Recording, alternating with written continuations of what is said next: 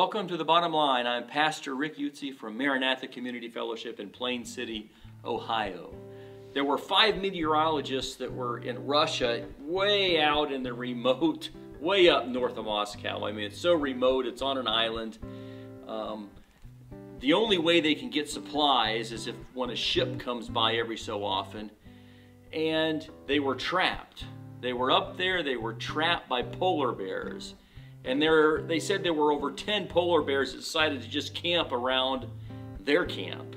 And so they couldn't leave. They couldn't go out of the station for two weeks because they were running out of flares that they used to scare bears away. And they had little detonation devices to scare them away, but they were running out of all these things.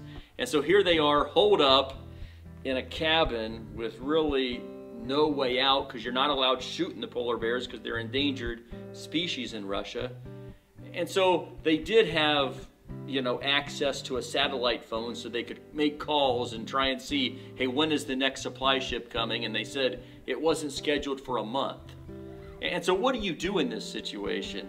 Well, it so happened there was another research ship with scientists on it that made a detour that could actually come through and they scared the bears away you know, with their helicopter.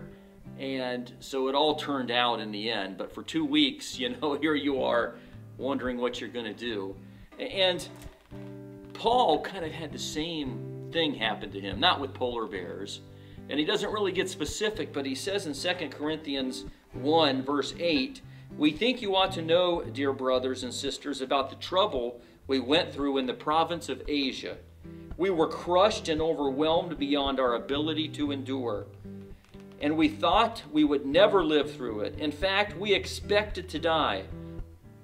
And so you can see, before I read the rest, you can see here that Paul was really like in some kind of trouble, right? I mean, it, was like crushing. It was like they thought they were going to die. And so here he is. What's he going to do? And why does God allow things like that to happen? I mean, does he fall asleep at the wheel? You know, does he not care? You know, maybe he's not even able to prevent these things from happening. Is that why he allowed Paul to go through what he went through?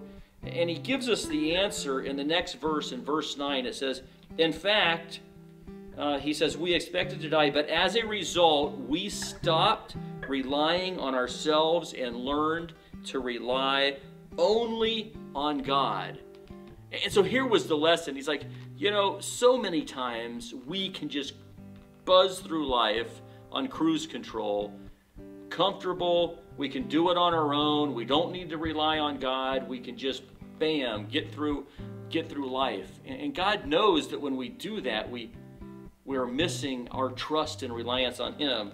And so Paul's saying, I learned through that circumstance that I need to quit relying on myself and my power and my success and my strength.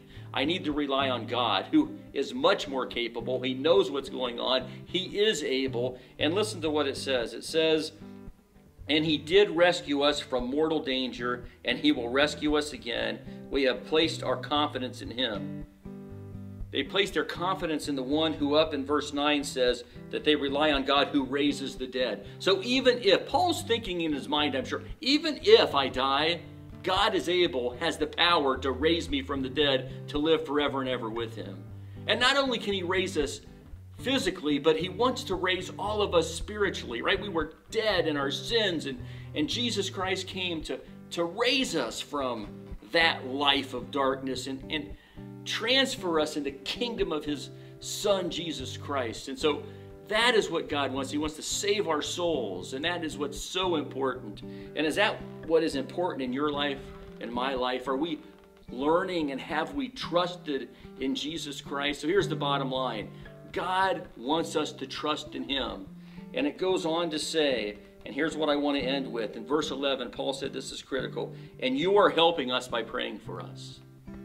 It is a help to pray for people. It's not, well, I guess I could pray for him or I can only pray for him. No, it is a help to pray for those in need. Have you prayed for those who don't know Christ for salvation for their souls? Have you prayed for those who are going through struggles who know Christ so that their faith would remain strong? Let's pray.